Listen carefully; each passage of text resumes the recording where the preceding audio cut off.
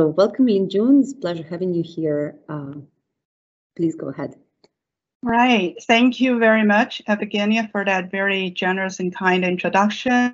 And also thank Professor Coon for the opportunity to speak to you today. Um, I, I, hope you're as excited as I am to uh, talk about some of the quantitative proteomics. And also, since this is a virtual format, I hope to use this opportunity to welcome you virtually to Madison. Um, actually, my background, even though I can't see it, I chose the uh, Memorial Union Terrace, so that's actually how it uh, looks like right now in the summer.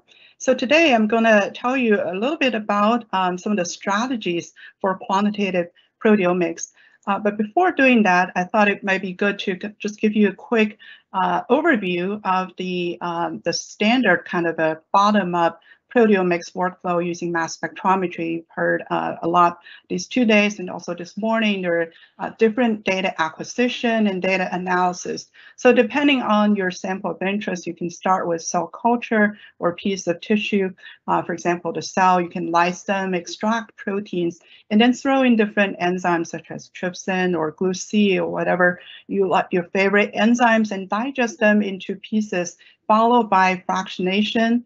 And if you're interested in a particular PTM, uh, you can use, for example, IMAC to enrich phosphor or lectin to enrich uh, glycoproteins, and then followed by nanoflow LCMS-MS. So shown on the bottom is like a typical MS1 precursor scan. At any given uh, LC elution time, you have multiple peaks, and then you can actually, based on the relative abundance, you can select these ions to do tandem mass spec fragmentation to get uh, protein identification using a variety of software and informatic tools. So these days, we can get uh, thousands of proteins from a single uh, shotgun proteomic experiments.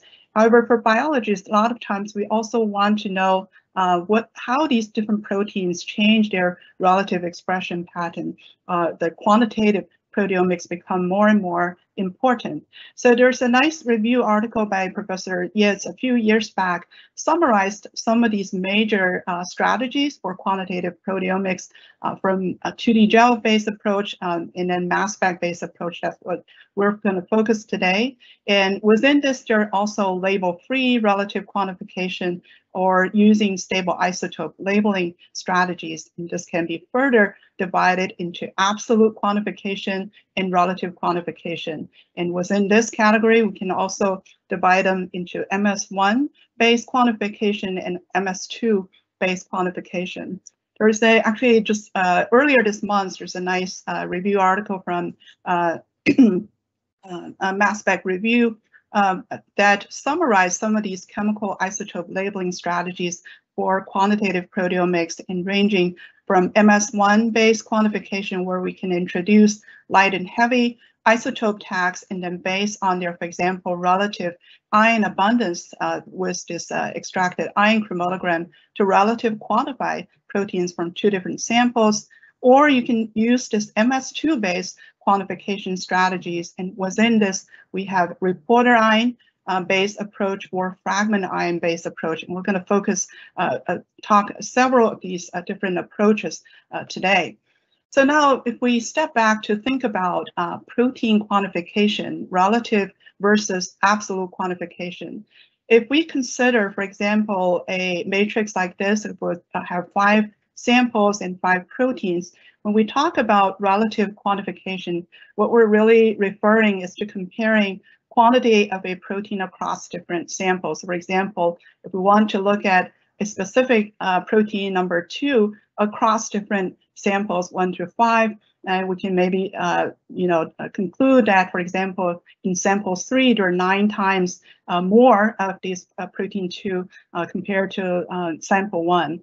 And for absolute quantification, we're more focusing or getting the absolute abundance or concentration of a protein within a sample. So for example, again, if we focus on sample three, and we can look at the uh, the, the actually the absolute abundance of proteins or amount of proteins one through five and how much uh, they are in those. So we have different strategies. We can perform uh, relative quantification And this uh, is a nice uh, schematic from the Coon group looking at MS1 based quantification. Uh, for example, we have label free quantification, and that's just uh, sequentially compare two different sample, two different LCMS run and align their LC retention time and look at the area under curve. And also another big category is the metabolic labeling. For example, you can culture your cells in light and heavy uh, isotope uh, media. For example, you can add heavy lysine like 8 Dalton uh, heavier or arginine 6 plus uh, Dalton heavier. And for every new protein synthesized, it will incorporate these uh, lysine or arginine. And during the digestion process, all of your peptides, uh, the, uh, these two samples, when you combine them and do a single uh, LCMS analysis, so then you can compare their relative abundance based on the area under curve. And then there's also a big category of chemical labeling, and we're going to uh, look at them uh, uh, in a greater detail later in the lecture. So again, you have, for example, formaldehyde is one of the common use uh, chemical labeling approach. Um, you can, again, this is the mass difference labeling. You have light and heavy comparison. And another big category is the MS2 quantification, also known as isobaric labeling. And this can allows you to do a multiplex quantification. And basically based on its name, the quantification occur at the second stage of MS. So you can differentially label multi-sets of sample and combine them in MS1. So there's no spectral complexity introduced. And then the second stage MS or MSMS would allow you to quantify these different uh, protein relative abundance based on their reporter ion ratio. So let's start with the simplest one, the label-free quantification. Obviously, there's no label uh, added. So in some way, this is the minimum or the simplest in terms of sample preparation. Um, and showing here is one of the example. For example, we can look at a peptide species from the first run and the second run, and you can align them based on, for example, this is an isotope cluster of a particular uh, peptide species, you can look at their LC retention time and align them and uh, compare them uh, between different ratios. And you heard wonderful lecture from uh, Jürgen Cox this morning in using, for example, uh, max uh, LFQ, you can relative quantify these for label-free quantification. So in some way, these are in general more computationally expensive, uh, however, they can actually allow you to look at much larger, broader dynamic range. Um, and also there's no limit on the number of samples. So you can look at one over uh, 200 or, or even a thousand proteins. Uh, what we're looking at is basically the chemically identical uh, peptides compare from run to run. And one thing you pro probably would recognize is would rely on substantial instrument time. Um, so another way to look at label-free quantification besides this area under curve is the MSMS or spectral counting approach. So this is based on the hypothesis when you have higher abundance of a protein and you have more uh, number of these tryptic peptides and that can be actually translated to a larger number of MSMS spectra.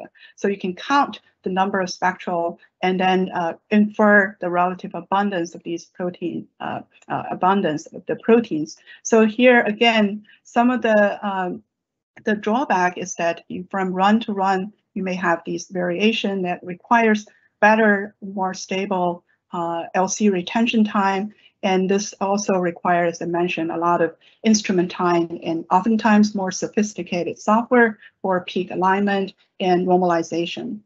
So today we're going to uh, look at spend more time to look at stable isotope labeling for quantitative proteomics.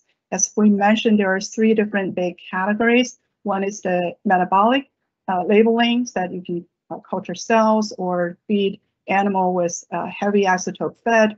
Um, and then the other way. So this is uh, happening at the very beginning or the protein stage for extraction and all the downstream workflow.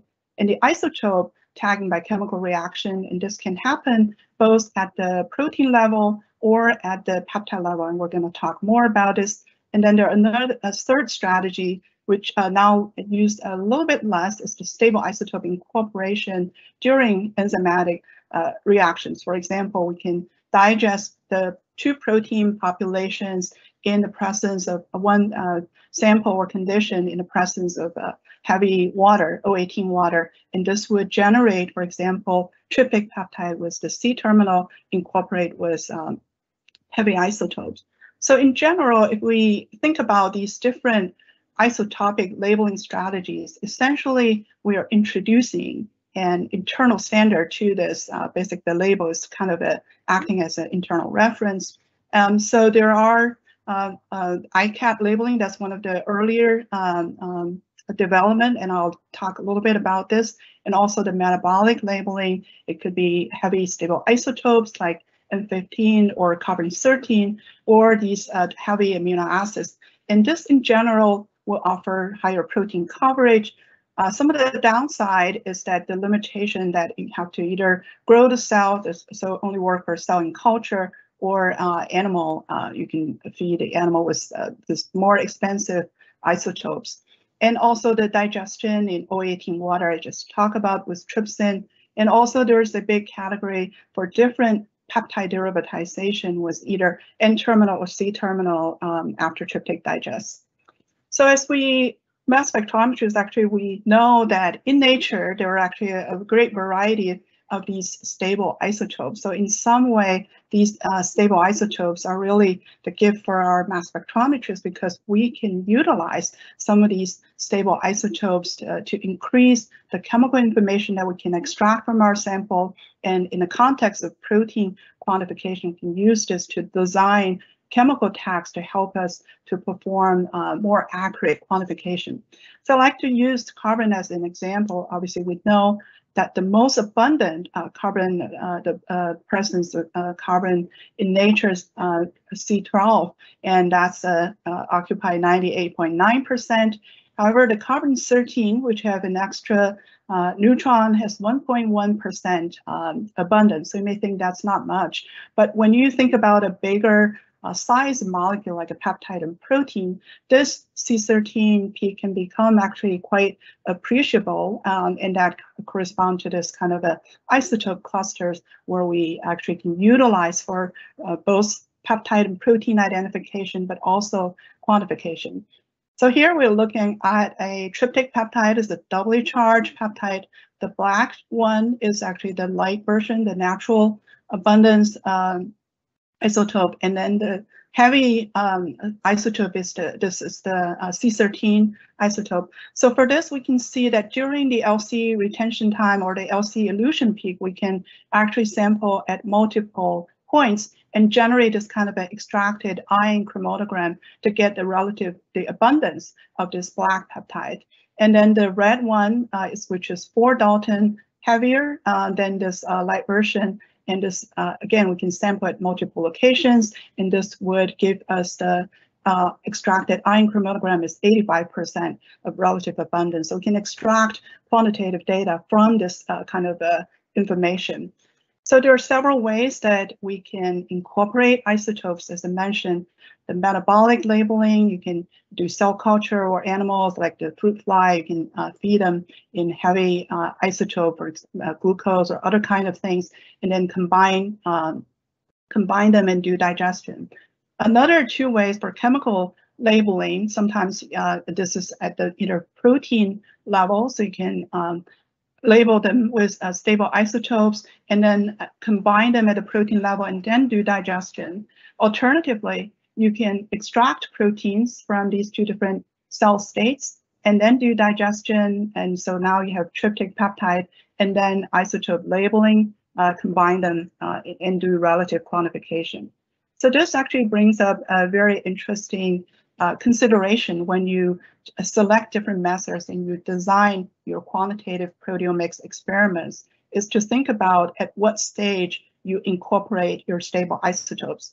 So showing here is a general uh, labeling workflow for uh, quantitative proteomics from cells or tissues, and then extract and purify it in uh, uh, fractionation. And then you have these proteins, and then digest them into peptides and mass spec sampling. So on the, the blue box, the blue and yellow represent two different cell conditions or biological states that you want to compare the relative abundance of these uh, proteins. And then obviously we can introduce these uh, isotopes at different stage. Uh, the very early stage is the metabolic labeling. Uh, you can see this is actually the very beginning. And this horizontal line basically shows at what stage you combine these two samples, the light and heavy, for example. And so obviously from this plot, you can see, or this uh, schematic, you can see that the metabolic labeling is the least prone to errors because every steps of these sample processing uh, errors or uh, um, differences or variances have been accounted for. And if you look at, at the protein level, for example, here, we combine these uh, this isotope at the protein level, like for example, ICAT, or at the peptide level, if we use the tryptic digest peptide with um, formaldehyde labeling light and heavy. So there are multiple steps. Actually, these are uncompensated. So these are the things that you need to consider uh, when you design your experiments. So now if we look at, uh, as we mentioned, the metabolic labeling, or sometimes also initially known as stable isotope labeling with acids in cell culture, known as SILAC, is uh, considered as the most accurate in, in many uh, methodology because it starts from the very beginning of your workflow, so culture cells. For example, here we can culture in the light and heavy arginine. So there's six Dalton apart for each of the peptide containing a, a single arginine residue. You can compare their peak uh, relative abundance. So um, this general idea, you can actually extend it to look at both the cell culture, but also uh, the animal uh, feeding, for example, the SILAC mouse, you can feed the um, animal with heavy isotope incorporation. So when we look at the MS1 based uh, labeling, you can generate these kind of a isotope clusters. And for each of these um, at the LC retention time at each point, you can align them the light and heavy. So you generate actually several of these uh, SILAC ratios. You can take the medium and get a very accurate measurement of these relative abundance. So there are a great deal of advantage of doing SILAC in that you can do in vivo labeling, and this is MS1 based quantification, so there are very limited interference, and you can uh, do this with very high accuracy. Some of the drawback or limitation, obviously, is that for any of these uh, peptides you introduce, either uh, the heavy one, or sometimes if you do triple uh, sample comparison, the medium, so increase your MS1 complexity. So imagine if you're working with very complex proteomic sample, this could really add a lot more uh, mass spectral complexity. And so that uh, because of that, it also relatively uh, limit your multiplexing uh, capacity. So to overcome this issue, actually Professor Coon's lab has the, been the first one to really recognize that uh, people can use uh, this effect, uh, this uh, phenomenon called mass defect. So in that, so you have different neutron energy, binding energy difference from heavy and light version of each element. There's small mass uh, energy difference, neutron binding energy difference can be translated obviously to the small mass difference. And this can be uh, resolved with high resolving uh, mass spectrometer. So based on this idea, this neutron encoding amino acids, for example, if we think about a 2 plus Dalton lysine, and so the Coon lab has come up with six different ways that you can build this lysine molecules. So think about adding two neutrons. So you could have two uh, N15 or one carbon 13, one uh, N15 and some different number of deuterium. So based on this, you can actually generate six different isotopologues. They are not exactly the same in their mass. There's tiny uh, mass difference. And so uh, in looking at a plus eight Dalton lysine, you actually theoretically can create 21 different isotopologues that span from the light and the heaviest uh, that actually uh, for uh, 36 uh, millidalton. So here, if we take this the lightest version of these uh, isotopolog and the heaviest isotope uh, isotopolog for this lysine, and this happened to be commercially available. So you can actually culture this uh, two different uh, cells in these two different media and lyse the cell and extract proteins and followed by digestion and run LCMS-MS. So in the regular uh, resolving power, you don't actually resolve actually or uh, realize there's this, uh, peak splitting. And after you turn on high resolution, like a 120,000, you can actually see this kind of a red and green. So that allows you to separate or relative quantify these. Um, so this is the NeuCode SILAC approach. And now we can see some uh, real data in this, uh, I believe it's in the yeast cell culture. And you can see again, in the uh, particular scan in the MS1 that is 30,000 resolving power, the precursor isolation, there's uh, just like behave as a single peak. And then you can do ion trap MSMS acquisition uh, to get identification. And if we insert this high resolution MS1 quantification at uh, 120,000 resolving power, all of a sudden you actually review these peak splitting that really allows you to absolutely uh, with very high accuracy to quantify the relative abundance. So the Coon lab has taken this to uh, make it to uh, work in nineplex NeuCode, uh, SILAC, and they've also commercialized both of these chemical reagent for uh, and also the uh, mouse feed for people who want to do uh, mammalian tissue samples. So next, I want to uh, switch gear to talk more about chemical labeling because sometimes you may not have the ability to culture cells or uh, feed the animal, like to, to do this kind of uh, animal feeding. So, and certainly chemical labeling give you a lot more flexibility in terms of the sample uh, versatility. You can work with tissue samples or biofluid. So the very first uh, chemical tag uh, development uh, from Ruedi Aebersold lab led by Steve Gygi was the isotope-coded affinity tag chemistry or ICAT.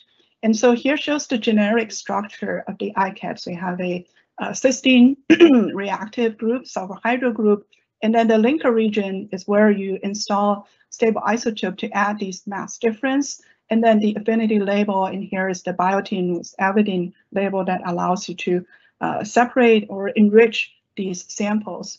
So this quantification is actually uh, labeling occurring at the protein level. So you can target cysteine containing uh, proteins in this uh, two protein extracts. And then after combined with the, uh, the ICAT version of software, uh, the chemical tagging, and then with the affinity purification and then digestion with MSMS. So you can see the area under curve, the light and heavy for relative abundance, and MSMS for uh, uh, for protein identification.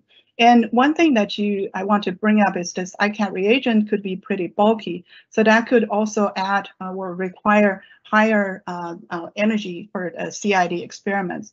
However, there are some advantages, obviously, for the ICAT labeling, is that will help to greatly reduce your sample complexity of the digested mixture because we have this affinity purification and also only target cysteine containing peptides. And there are probably less than 10% of the peptides that contain cysteine. And this also adds the specificity for database search. So you can constrain uh, all your uh, peptide identification that contain cysteine only. And this would allow you to quantify uh, proteins or peptides based on isotope ratio and uh, MSMS identification. As I mentioned, one of the limitation is that the, the larger size of the ICAT reagent, and also it only allows uh, cysteine containing proteins being identified and quantified. So to turn to more generic chemical labeling, perhaps, and also more, uh, much more cheaper and economic is the uh, dimethyl labeling.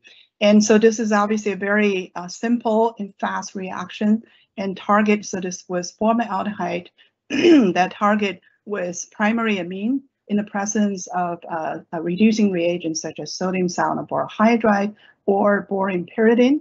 So that forms in the light version, there's a dimethyl uh, of 28 Dalton. And in the mediate, you can use the deuterium, deuterium version of formaldehyde. And then there's uh, the heavy version would introduce the carbon 13 deuterated uh, formaldehyde in the presence of sodium uh, cyanoborough So this will give rise to 36 Dalton mass shift. So with this kind of a chemical labeling, you can create uh, a tri uh, triplex labeling scheme to quantify two sets, uh, three sets of samples. So showing here again is a uh, looking at a doubly charged tryptic peptides. And so here, if you look at this particular peptide, it has C terminal as the lysine. So that actually adds two different labels because it uh, this formaldehyde target was the primary amine, uh, was the uh, amino group. So that would introduce, and here it's a doubly charged, you can see there are eight Dalton uh, mass shift between the light, intermediate, and heavy. And as you can see, the area under extracted ion chromatogram, they actually co-elute pretty well in the LC retention time. So next, I, obviously this allows you to do a binary or triple, um, triple sample. So there's a great need or motivation to further increase the multiplexing or the throughput. So there's some uh, motivation that I uh, kind of uh, listed here. One is that this will help us to reduce sample amount from any one sample, and it will also reduce the sample preparation and analysis time, especially if you're using a facility instrument that you're charged by the instrument time. If you can multiplex six, 10 samples altogether in a single LCMS run, that will actually greatly reduce the uh, analysis and instrument time. And this would also improve the LCMS data overlap. And obviously the major uh, motivation is this kind of a multiplexing allows you to look at a large number of biological conditions or replicates in a single experiment. For example, you can screen for multiple cell culture condition, look at different drug treatment, or a large cohort of clinical specimens. So the very first, um, this kind of a multiplexing quantification scheme uh, by this uh, iTRAQ or isobaric tag for relative and absolute quantification. So showing here is the uh, iTRAQ reagent, uh, the structure, the chemical structure. As you can see, the NH ester that react with the primary amine, and there is a balance group, this carbonyl group, and then the reporter group, which is the cyclic ammoniamine that install that allows install different stable isotopes at the reporter and the balance to allow the sum of these reporter and balance to be identical. That's why it's called isobaric. So the mass of this fourplex version would be the same in the MS1 mode. And the MSMS that cleave these two bonds, so this carbonyl group would lose uh, as a neutral loss. So this reporter ion is one Dalton apart from each other, so you can actually relatively quantify them based on their uh, relative attend, uh, intensity. So here shows basically the diagram with 114 to 117 reporter, and then the opposite uh, for the, the balancer, right? The, the lightest reporter would uh, paired with the heaviest balancer, so they will add together as the same in the MS1 mode. They will just behave as a single peptide or single sample, and then the MSMS allow you to do both identification and quantification. So just show a, a few quick example for tryptic peptide. In this case, and the precursor uh, MS1 and then the MSMS, you can see they just behave like a single peptide with the B and Y ions, and then the low mass region to give you the relative abundance for these four sets of samples. In another example to show they have different reporter uh, ion abundance to allow you to do quantification. But again, the B and Y uh, fragment would behave just like a single uh, peptide. So one of the advantage for this isobaric labeling is that it can improve the sensitivity and fragmentation efficiency after labeling. So this is a comparison for the unlabeled versus the label. As you can see, there's a dramatic enhanced signal intensity for both the, all the B and Y ions, and this would allow basically translate to more confident uh, peptide identification. So there are a number of advantages of this iTRAQ reagents. Um, first, it's, it's isobaric, and uh, it, as I mentioned, that it helps to enhance the sensitivity over mass difference uh, tag that where you spread the signal and now you combine all the signal in a single peak uh, for this peptide. And also there's um, uh, ideally there's no difference in the chromatography elution. Uh, so that's, that's the basis of when you do absolute uh, or accurate quantification. And this would yield signal uh, signature reporter ion. And this would allow you to do simultaneous quantification and identification. Obviously, this comes with a high price uh, relative. This is actually still a few years back. Uh, probably this is going to cost a little more, but in general, you have this uh, uh, the high cost. So we actually think about whether we could develop a more cost-effective uh, iTRAQ alternative, but still offer comparable uh, quantification performance. But before I introduce that uh, strategy, I want to also introduce another highly popular and successful commercial tag, and that is uh, isobaric mass tag or TMT tags. So showing here is the chemical structure for a six-plex version of the TMT. As you can see, again, the reporter from 126 to 131 done uh, uh, apart from each other, and then the balancer. So you can label, for example, in this case, uh, six uh, mouse samples, in this also with the NHS ester. So in the MS1 mode, there's no uh, actually spectral complexity introduced. The MS2 fragmentation um, that allows you to sequence peptides and then these uh, low mass region for relative abundance. So again, taking advantage of this mass defect uh, phenomenon, uh, Thermo people actually have to create or enhance the quantification channel by taking advantage of, for example, if we swap the C carbon 13 with an uh, N15, so there's a tiny mass difference, a six millidalton mass difference that can be resolved with high resolution Orbitrap type of instrument. So this would actually add additional uh, two channels and just uh, convert that original six plex to 10 plex version. So this is actually showing the 10 plex TMT. Again, the cleavage uh, happened at the uh, between the reporter ion and the balance group that you can actually generate these kind of a 10 plex uh, version for identification uh, and quantification. So more very recently, uh, Thermo has also released this uh, um, the 12 as the 16 plex TMT Pro. So this is currently the highest uh, multiplexing uh, chemical reagents that is commercially available. So this is actually based on a tripeptide scaffold. So they use actually a modified proline as the reporter ion base and then with two beta alanine. So altogether, there are actually nine different heavy isotope positions, and this would generate or allow uh, essentially 16 uh, quantification channels. So this is actually a very recent development that is also commercially available.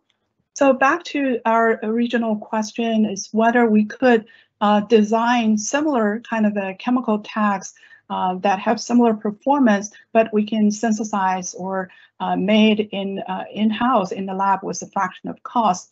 So based on this idea, we compare the iTRAQ and, and this uh, dimethylated amino acid labeling where we use uh, routinely for uh, chemical um, uh, uh, assist chemical uh, tagging assisted de novo sequencing. What we have observed is this dimethylated amino immonium ion can actually act as a reporter uh, group that we can actually utilize for quantification. So that's the, the basis where we can use dimethylated amino acids to kind of replace this, and we can synthesize them in a much lower cost. This is uh, the, the generation of the tag that we have developed is the dimethylated leucine for four channel, eight channel, and 12 channel. Uh, and, and, more recently, we have developed the 21 plex. This uh, cost 60. So this is, um, in this case, $23 for this kind of a uh, quantification.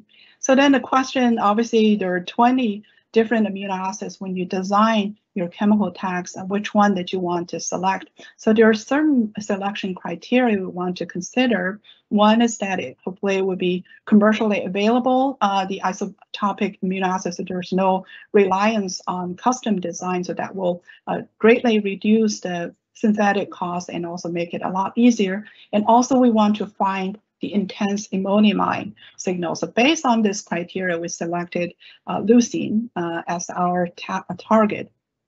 So here shows our original design of the dimethylated leucine. Um, so here is the triazine ester uh, that can react with primary amine and the same carbonyl group as the balancer and then the reporter, which is the dimethylated leucine. So this would require only one or two step synthesis to generate this kind of a fourplex DiLeu tag. So this re, uh, reporter is one Dalton apart from each other from 115 to 118 and the MS2 fragmentation that allows us to basically relative quantify them and do uh, backbone cleavage for identification. As I mentioned, one of our goal to use this to look at uh, some of the low abundance neuropeptide uh, de novo sequencing as well as quantification. So this just shows that we can actually apply this four-plex DiLeu tag to look at the relative abundance, but also uh, these de novo sequencing to quantify these different samples.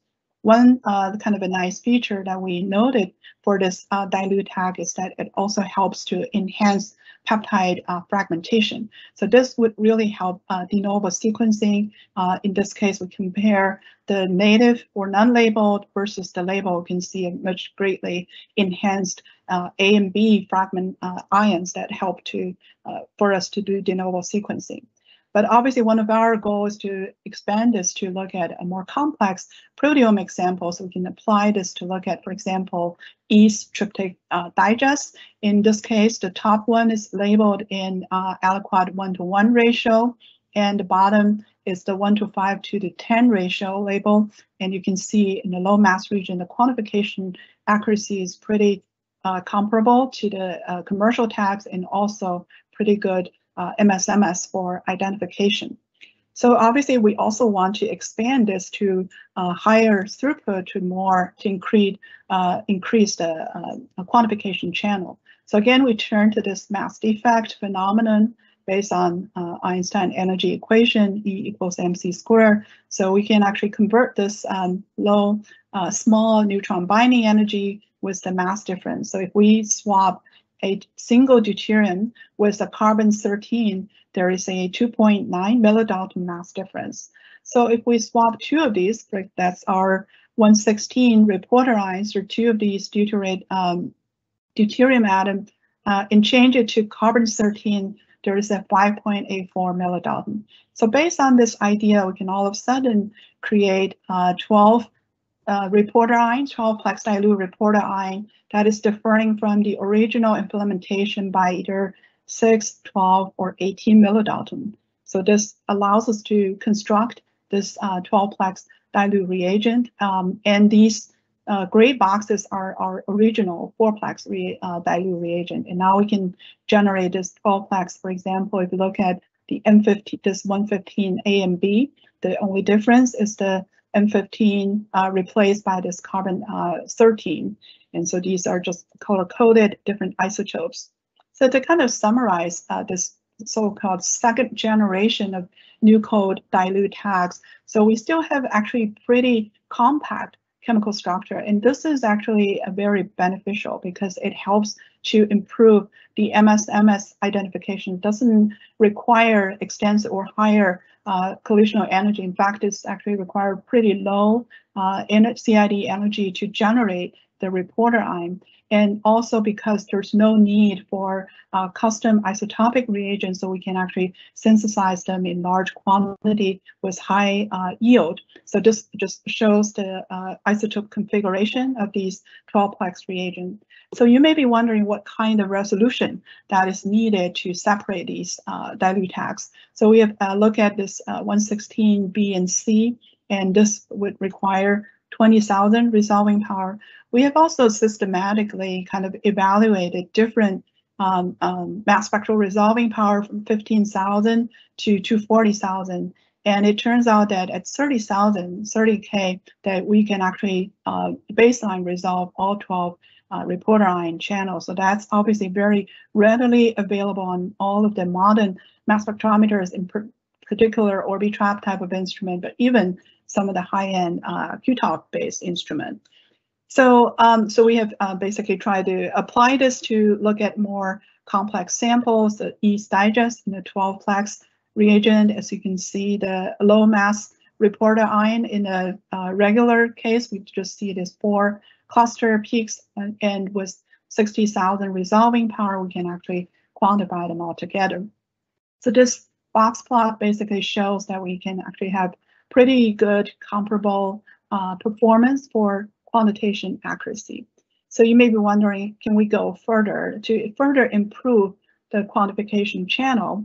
And so the answer is yes, and we still actually rely on this very compact chemical structure uh, with the recognition that we can actually incorporate odd number of deuterium atoms at these different locations. So here, instead of the dimethylation, we can do monomethylation that will introduce nine additional channels and that uh, and highlighted here that basically still rely on two, three step synthesis and we can generate this 21 plex uh, DiLeu channel uh, tags. So for the smallest separation, uh, 115B and, and C, uh, which is only 2.92 millidalton, and uh, that required resolving power is 60,000.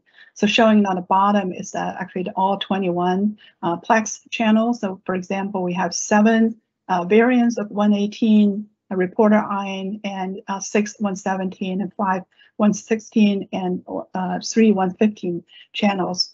So to again uh, apply this to a little more complex uh, human cell line, the K562 tryptic cell lysate tryptic digest. So again, in the low mass res, uh, resolving power, you don't there's only four peaks, and then with the 60,000 resolving power, you can actually quantify all 21 channels. And again, the peptides still behave as a single sample. You can get pretty good uh, quantification and identification. So we just did a little bit kind of a, a comparison for DiLeu labeled versus unlabeled to look at the general performance for this uh, tag. As we can see that it actually gets DiLeu labeled gets pretty good uh, X correlation. The larger correlation means that we can actually identify things more confidently. And also this, uh, in general, favor uh, the peptide length between 6 to 10 amino acid and also has a slight increase or enhancement for the peptide charge state. And this would allows you to quantify about 99%. So quantification rate is pretty good. And we have also looked at the quantification ratio one to one and 15 to one, and also a larger number of these uh, PSMs to uh, look at the general performance. So to kind of summarize these isobaric tagging or MS2 based um, tagging, there's a number of advantages how, uh, for multiplexing and high throughput. However, there is actually one of the, the limitation is just co-isolation of precursor ion, especially when you have more complex uh, samples. And this could cause uh, distorted reporter ion ratio. So there are some solutions in the field that, for example, either you, so this is basically showing that two of these are co-isolating. And so you can actually try to extend the LC gradient coupled with prefractionation or try to narrow precursor ion isolation or even adding additional gas-phase reaction. I think Professor Coon's lab has done develop this uh, proton transfer reaction or using ion mobility separation to separate these uh, co-eluting peptides. There's also a uh, more successful uh, and commercial version is the synchronous precursor selection MS3 based approach where you can uh, take or isolate multiple of these fragments to do a second, third stage uh, MS3 and to uh, improve the quantification accuracy. So this strategy basically this uh, also kind of uh, advocate there is uh, probably also some need to look at MS1 based quantification. So towards that end, we have also looked into using our DiLeu tag, even though it's developed as an isobaric MS2-based quantification, we could also utilize this to uh, do MS1-based quantification. And another consideration is that we can use this MS1-based quantification to combine proteome and metabolome analysis on a single analytical platform. Uh, so the idea is to, for example, if we work with uh, pancreatic cancer cell lysate and extract the proteins and metabolites separately and use the DiLeu labeling because typical metabolite analysis using the analytical regular flow LCMS, so our goal here is to combine and do both of these uh, analysis on the nanoflow LCMS. So based on the uh, DiLeu tag, and here the only difference is that we take advantage of this mass defect phenomenon where we can install uh, here the N15, carbon 13, and O18 for these uh, uh, four deuterium atoms, the light and heavy isotope label. So this would give rise to a duplex version of mass defect DiLeu that is differing from each other by 20.5 uh, millidalton. So this can be actually resolved with high resolution mass spectrometer based on the area under curves that we're looking at uh, when you have high enough resolution. So you may be wondering what kind of resolution that you need for this MS1 based uh, quantification. So at the protein level, we realized for this particular tryptic peptides, uh, the needed resolving power is 240,000. And for metabolites, we can do this in 120,000 uh, that we can actually separate both of these pretty nicely. And a kind of a nice feature for this uh, DiLeu labeling is that it can also help to improve the sensitivity for these amine containing metabolites. So what I'm showing you on this slide is the blue trace, is the labeled cellular metabolites. As you can see, a much enhanced signal intensity, but also it helps the separation. So compared to free or non-labeled isoleucine and leucine, there is partial resolve, and then with the DiLeu labeling, actually Im improve the retention time and uh, improve the separation. So this would help us to uh, apply this to look at, um, so this is actually comparison of the MS1 based quantification and MS2 quantification to show comparable uh, kind of a, um, a, performance. And also we have compared the labeled proteins and metabolites in the quantification accuracy and different uh, labeling ratio for the dynamic range. As one of the goals for this kind of experiments to try to combine both proteome and metabolome in the same analytical platform so we can actually compare, uh, perform the functional enrichment analysis to look at the cellular components and also the biological processes being uh, changed in both at the proteome and the metabolome level, and then try to derive some of these overlaps. For example, the uh, pathways that overlap between the proteome and metabolome. So this shows a number of these different uh, key metabolism pathways, such as the arginine proline metabolism pathway and glutathione metabolism pathway. So basically, I'm using this example to show that we can use the mass defect uh, DiLeu uh, tag to show to simultaneously or to parallel proteome and metabolome on the same nanoflow LCMS uh, platform. And this can also help to improve quantification accuracy and detection sensitivity.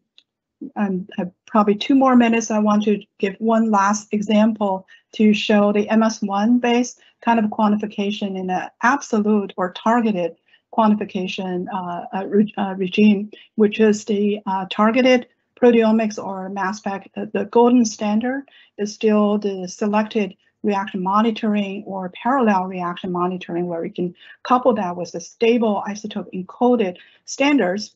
However, there are some uh, limitations. One is that there is, uh, in a, a, complex sample, you may have lower specificity. And also there's limited analytical sample throughput.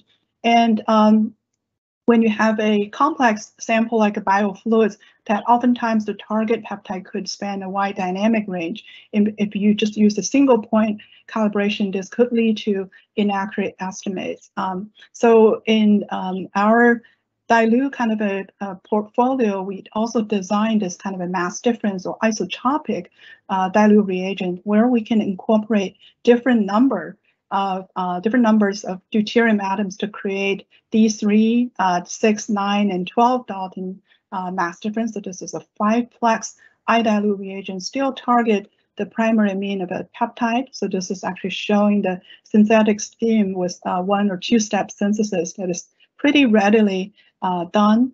And so the idea is that we can actually, instead of getting the very expensive stable isotope uh, encoded peptide uh, analog synthesized, we can actually take any uh, target peptide of interest and label them uh, with known concentration or uh, with a zero dilution, label them with four channels of DiLeu rea DiLeu reagent, and then spike them into your real sample that um, that was your target analyte and the label was D0 to create this kind of a calibration curve.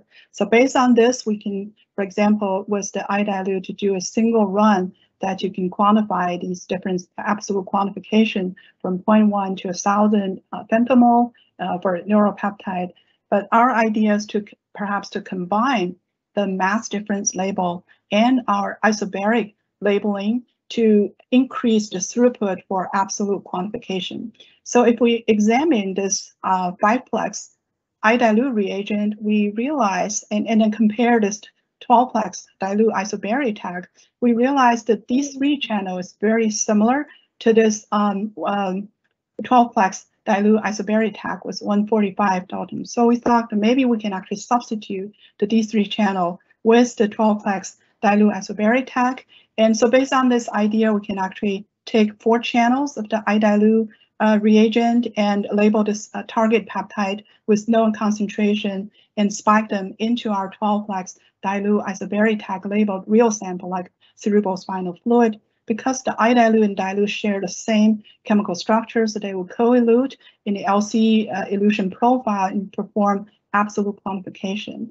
And this D0 labeled uh, DiLeu, iDiLeu channel can also act as a real-time trigger to trigger to look at the 4 Dalton mass shift to trigger the 12-plex DiLeu target peptide in MSMS. So it can toggle between low and high resolution to get relative quantification and the synchronous precursor selection MS3 to further improve uh, the quantification accuracy.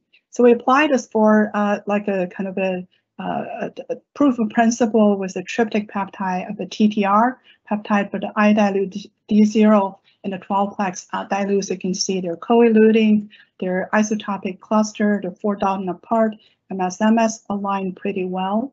And then we uh, compare this quantification accuracy one to one, one to two to five to 10 ratio. And then uh, the last week, we just compared this top HOTMAQ method with some more well-established parallel reaction monitoring or synchronous MS3.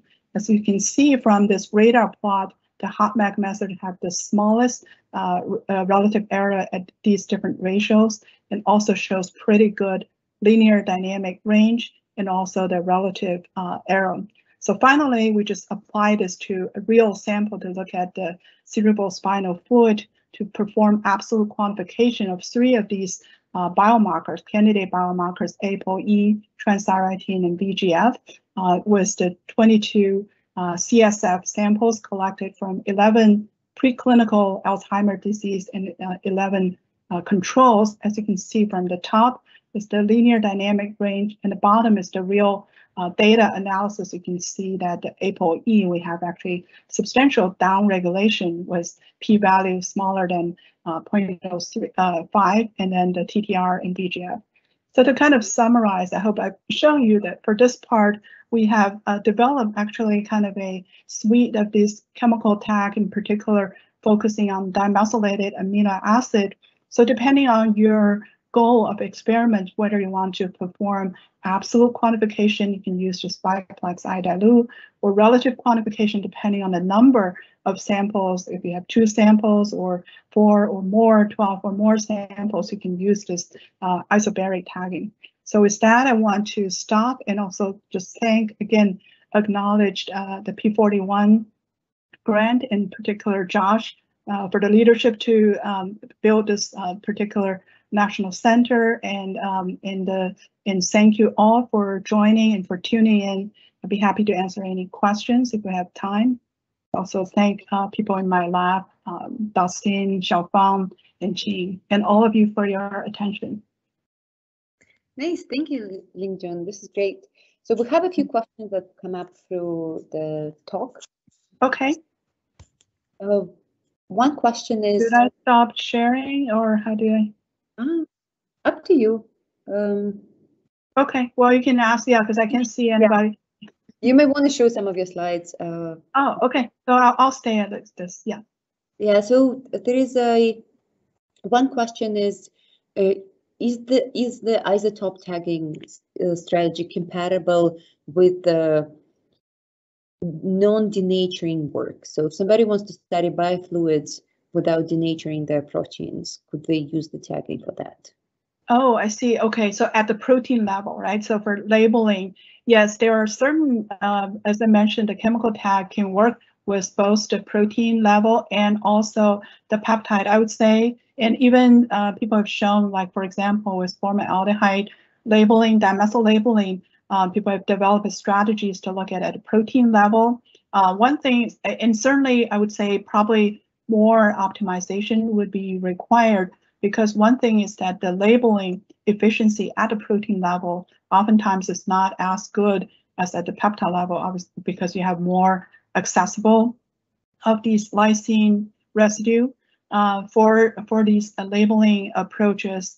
Um, and, but I think the short answer is it's possible. Uh, you just have to kind of optimize and tune the labeling condition. And another uh, consideration is also to try to avoid some of these site reactions if you over label. And so those are the things that uh, people need to be uh, more, I guess, pay more attention to. Great, thank you. Um, then there is a another question is about your work uh, combining proteomics and metabolomics workflows. What mm -hmm. kind of the question is uh, what kind of column did you use for that work, and what are the major metabolite identifications you got? Yes, this is a great question. So for that particular example, so we're our goal is to still using the nanoflow. So it's a C18 column, actually self-packed uh, nanoflow C, C18 column. And, uh, you know, because in general, for metabolites, we use either uh, regular analytical flow or HILIC column or other type of column that um, is not compatible with our proteome workflow. So our goal is to try to combine the two. But obviously, the question is, is um, asking about what type of metabolites. I would say for the DiLeu labeling um, uh, regime, obviously we're limited with just the amine containing metabolites. So that means that we're losing uh, with this particular workflow, losing these other uh, metabolites. However, there are other like non-targeted metabolites or um, like, for example, derivatizing the carboxylic acid or other functional group, we can also harvest these other metabolites. But from uh, this particular experiment, we primarily generate a lot of these amino acid or metabolism based and also as has shown some of these glutathione and, and other uh, nucleic acid uh, metabolism uh, pathway. Nice, awesome, thank you.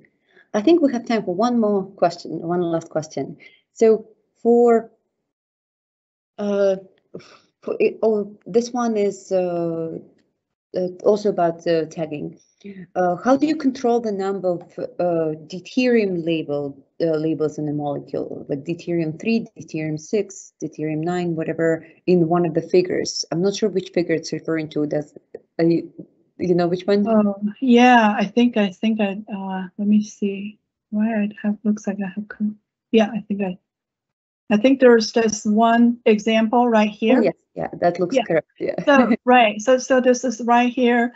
Uh, because there are some of these commercially available leucine. So so here we're basically using the dimethylated loose uh, the loose commercial available isotopic leucine and then with those different, as I've shown right here, the formaldehyde, some of these light version, but there are also the deuterium version, and there's also commercially available sodium di uh, deuteride. So you can actually, so these are also, and then with the deuterated water. So you can actually control this very uh, precisely. And there's uh, the reaction is also very fast, only 30 minutes. So that um, that's how we can generate these ta uh, tags that basically we don't need to rely on, you know, like a peptide synthesis facility to get those very expensive isotope encoded uh, standards. Yes. Fantastic. Well, thank you so much, Lingjun, for the great presentation. Oh, thank you very much for having me and for moderating. Yeah, because I can't see anything. So I appreciate you relaying all the questions. Thanks. So how do I go about stop sharing? Should should be upper right? Uh, you would have to go back to Teams. Oh yeah, okay, you're done. You're good. Oh, good. Okay, thank you.